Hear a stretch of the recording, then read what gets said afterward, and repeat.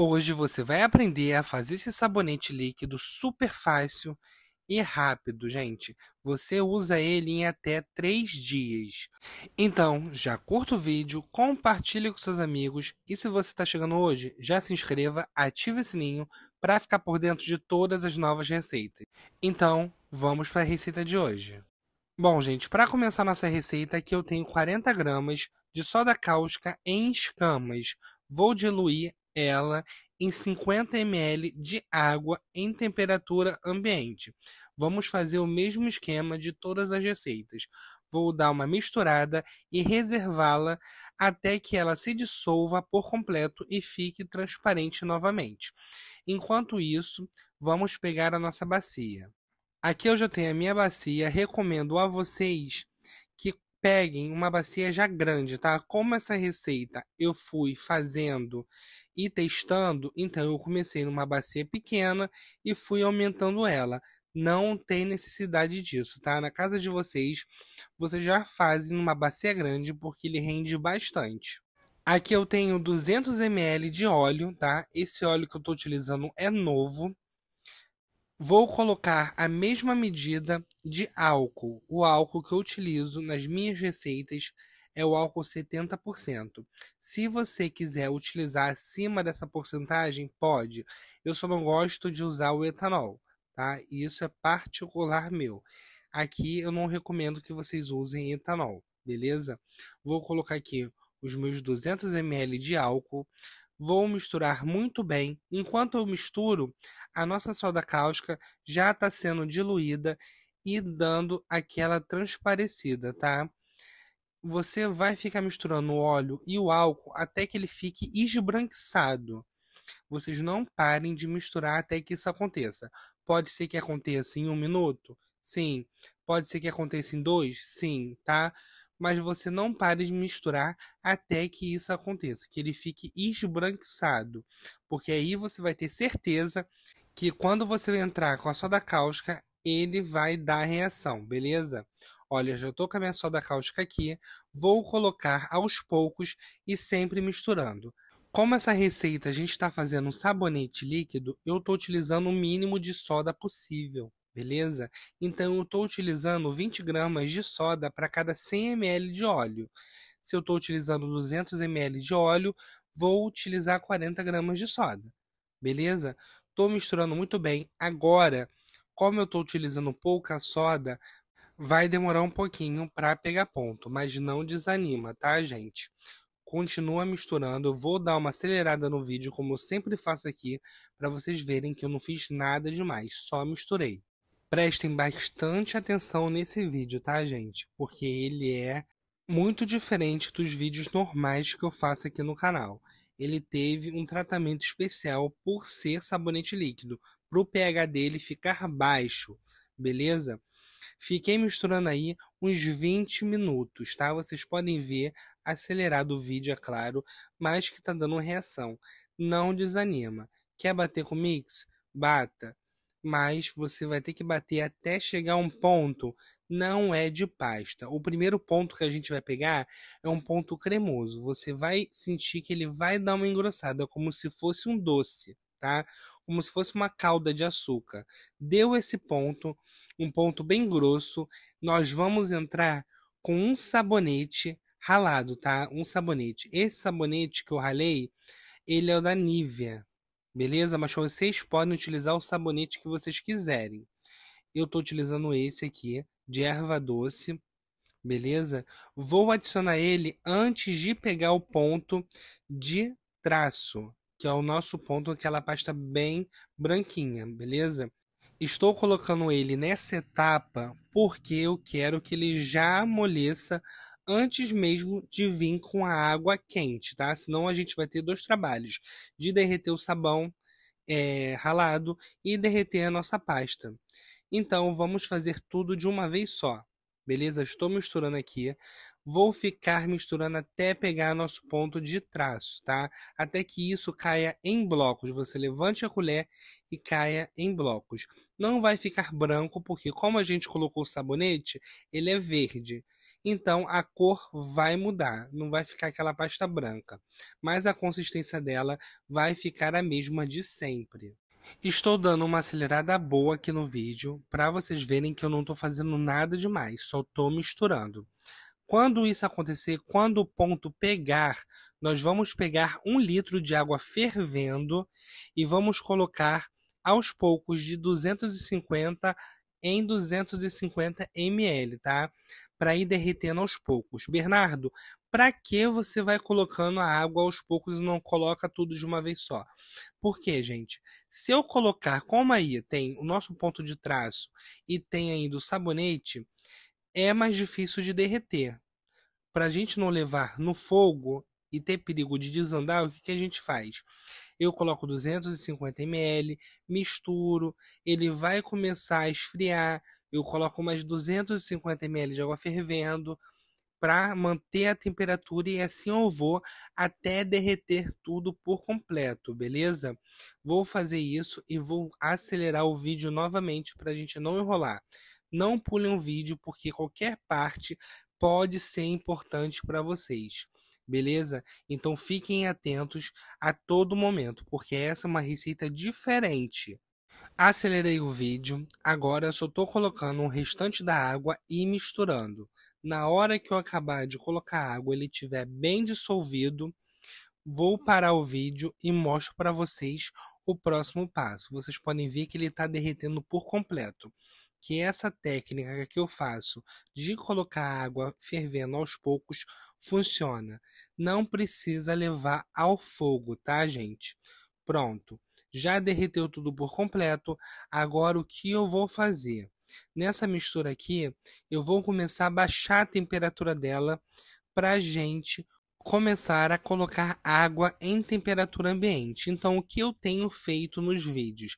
Eu coloco um pouco de água fervendo no copo, completo com água em temperatura ambiente e vou colocando os dois copos até baixar a temperatura. Baixou a temperatura, aí sim eu venho com a água em temperatura ambiente. Bernardo, mas por que você tem feito isso? Porque tem muita gente lá no grupo do WhatsApp, ou muita gente aqui nos comentários, que diz que na hora que vai colocar água, talha.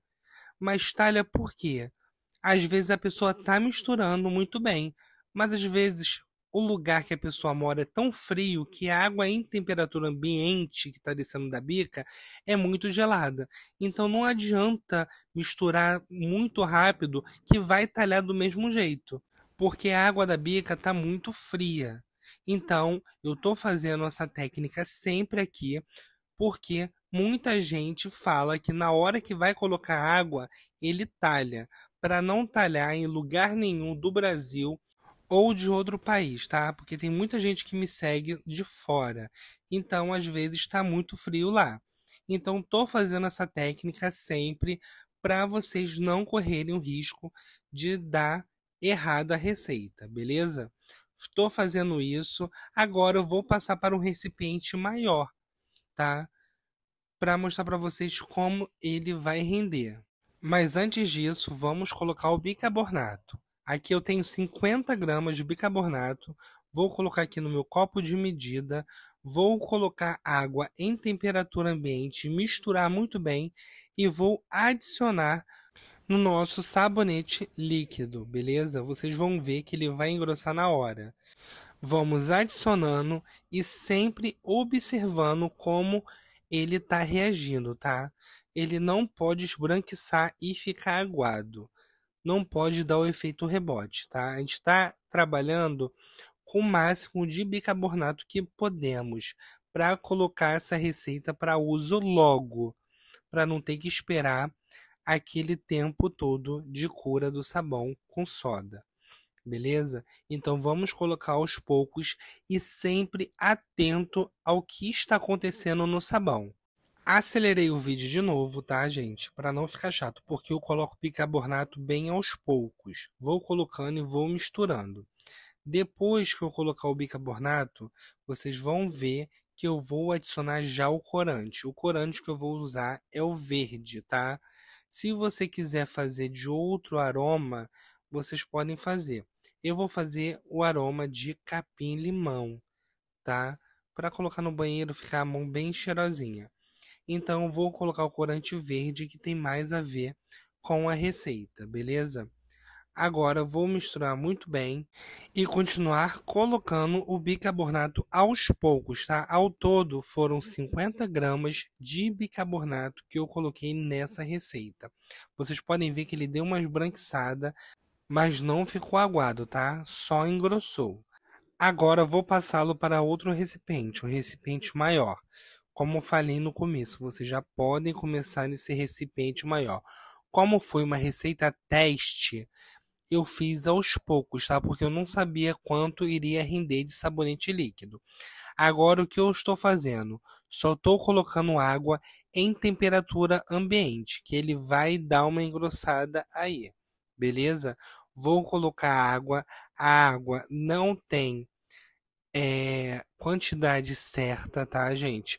Você vai colocando e vai sentindo a textura do seu sabonete líquido. Quanto mais grosso, melhor. Mas se você quiser deixar ele com a textura mais fina para render mais, também pode, sem problema algum. Ou vocês podem fazer uma base sem nenhum cheiro e depois de pronto, com pH perfeito, aí vocês podem colocar vários aromas. É só dividir nos seus recipientes.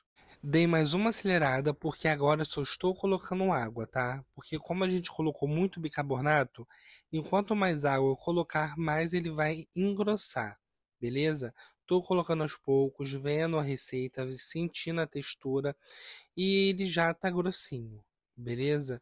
Quanto mais água, melhor, tá? Vocês podem ver até que a cor dele tá mudando. Agora, para dar o checkmate nesse nosso pH, eu vou utilizar 750 ml de vinagre de álcool, tá, gente? Esse vinagre de álcool ele vai ajudar a baixar o pH do sabão, tá? Do sabonete líquido e ainda vai ajudar a engrossá-lo, tá? Mas ele não engrossa na hora na hora ele vai afinar o sabão e no outro dia que ele vai engrossar. Beleza? Então não se assustem quando vocês colocarem o vinagre e você vê que ele afinou, tá? No outro dia ele vai engrossar. Coloquei aqui o vinagre, não vai mudar o cheiro de nada, tá, gente? O vinagre ele só tem o efeito de baixar o pH e dar uma engrossada no nosso sabão. Agora, deixar o cheiro dele, ele não vai deixar. Agora só vou borrifar um pouco de álcool por cima para assumir essas bolhas e volto no outro dia para mostrar para vocês como ficou. No outro dia, gente, ele fica assim. Olha essa textura. Vou pegar ele agora e vou mostrar para vocês. Ficou bem grosso, tanto que eu tive que colocar um pouco mais de água. Tô acelerando o vídeo mais um pouco, tá? Porque agora só vou colocar água. Ele ficou um pouco babento, então tô colocando um pouco de álcool 70, tá? Pra tirar a baba. Pra quem tem essa dúvida, é só fazer isso, tá, gente? Não tem mistério. Ficou um pouco com baba, vai colocando álcool 70 aos poucos e misturando que a baba some. Beleza? Agora, para dar mais espuma no nosso sabão, eu vou colocar 150 ml de lauril, tá? Esse lauril que eu estou utilizando é o lauril caseiro que eu fiz esses dias aí. Então ele é tranquilo, posso usar até a mais que não tem problema.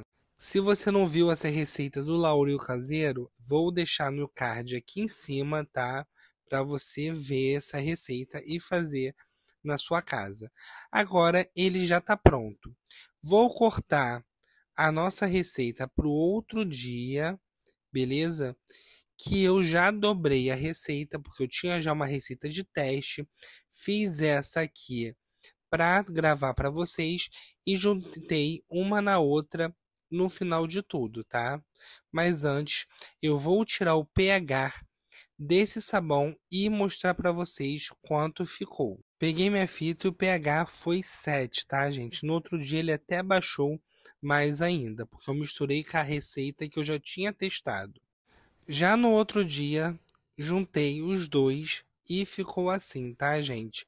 Eu deixei ele um pouco mais ralo porque eu preferi que rendesse mais e também que eu quero usar ele para tomar banho. Nesse dia eu medi o pH dele e já estava em 6, tá? Eu esqueci de gravar, eu só medi, eu olhei e tá 6. Então, quanto mais o tempo passar, mais o pH dele vai baixando. Então é super seguro para a sua pele, beleza? Ainda mais que a gente usa o sabonete de mercado que já tem propriedades hidratantes para não fazer mal à pele, beleza? Então, vou ficando por aqui. Espero muito que tenham gostado. Curta, comente, comente, compartilhe essa receita com o máximo de pessoas que vocês puderem, que isso ajuda muito o canal a crescer. E se você está chegando hoje, já se inscreva, ative o sininho para ficar por dentro de todas as novas receitas. Vou ficando por aqui. Um super beijo, fiquem com Deus e até a próxima. Tchau, tchau!